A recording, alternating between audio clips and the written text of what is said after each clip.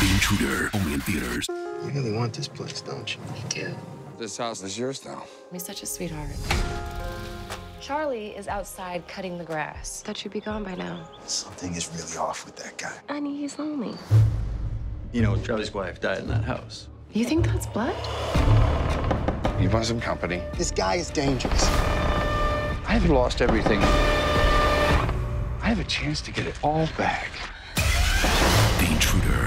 The Intruder, rated PG 13, May 3rd.